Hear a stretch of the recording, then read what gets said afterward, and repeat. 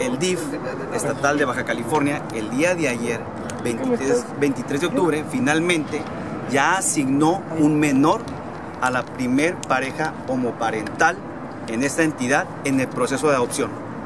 Con esto, Marta Lizárraga y Berta Llanos se convierten en la primer pareja en el estado en tener ya un menor viviendo con ellas, desde el día de ayer ya vive con ellas, dentro del proceso de adopción. Con ese antecedente ya se genera un precedente que va a favorecer en el trámite de Víctor y Fernando. Marta y Berta también son mis clientas. Desafortunadamente no pudieron estar aquí, pero ya va a permitir que el proceso de Víctor y Fernando, que actualmente se encuentra en la etapa de escuela de padres, concluya de manera satisfactoria. Eso es. ¿Cuál fue la diferencia? Porque ellos se consiguieron la, la adopción ya. ¿El tiempo tal vez? Son tiempos diferentes, es todo. ¿Ellos lo, lo- lo hicieron primero, el, el- el proceso? Ellos comenzaron primero, Víctor y Fernando comenzaron primero, mis clientes. Ajá. Marta y Berta también son mis clientes. ¿Qué fueron después? Ellas lo comenzaron después, pero la verdad es que son estrategias distintas. Afortunadamente, ya se les entregó a la menor, que es una niña de 9 años, ya está viviendo con ellas desde el día de ayer. Son de aquí de Son de Mexicali. Mexicali. Sí, de Mexicali, sí, son de Mexicali. ¿A qué te refieres con, con estrategias distintas? Sí, lo que pasa es que con Víctor Fernando les comenté que yo iba a ser mucho más estricto por cuanto hace a, a no salirme de lo que la ley me exige y con ella fuimos medianamente flexibles, porque ya cuando nos comenzaron a exigir también algunos requisitos que, que tampoco eran legales, entonces ya hasta ahí nosotros paramos.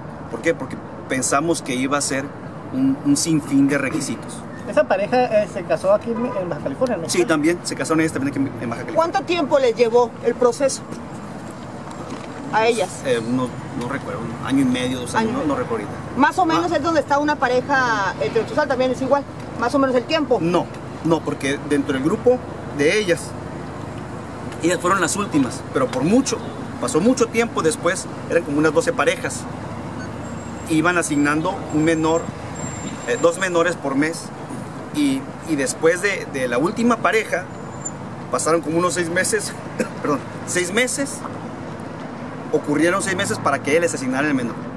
Entonces, sí, sí, queremos decir que hubo una, una demora que nosotros entendemos justificada.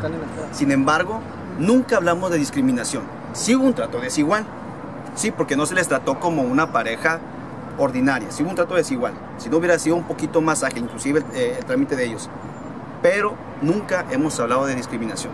Eh, esperemos que nosotros también muy pronto tengamos la oportunidad pues, de tener nuestro hijo ya en casa y pues se los vamos a hacer saber. Solamente queremos agradecer y estamos pues la verdad muy muy contentos nosotros junto con ellas porque aparte de todo las conocemos, estamos en el mismo camino, estamos en la misma eh, movimiento y pues estamos súper contentos por ellas. Es todo lo que quiero ¿Desde decir de parte de ellas. Ustedes el proceso? Nosotros lo iniciamos eh, hace dos años y medio exactamente y nosotros estamos en la etapa de escuela para padres.